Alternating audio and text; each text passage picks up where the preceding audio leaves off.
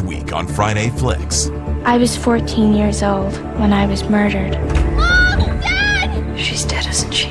Mark Wahlberg, Rachel Weisz, and Saoirse Ronan in Peter Jackson's mind-bending supernatural movie, The Lovely Bones. I was alive in my own perfect world. Plus, get facts and trivia from the film as they pop up all throughout the movie. Don't miss the Friday Flicks presentation of The Lovely Bones next Friday at 11 on Ovation.